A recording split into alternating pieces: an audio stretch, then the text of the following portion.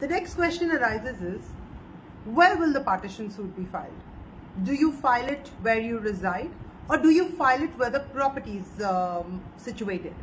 And where? Where in that, even in that city, where will you file the suit? The first is, wherever the property is, जहां भी property है आप वही case file करते हैं ठीक है सो लेट्स से अगर आप बैंगलोर में रहते हैं आपकी property is in Delhi the case is going to be filed in Delhi because the property is situated in Delhi now second question is which authority are you going to file for, uh, you know, with, uh, before which authority are you going to file this case? The answer to it is, of course, the court. When I say court, it's a judicial court. I'm not talking about anything else because when I talk about a partition suit, I am also referring only to immovable constructed properties or properties which are in urban area. We are not talking about land partition. So it is filed in the court of law where the property is situated.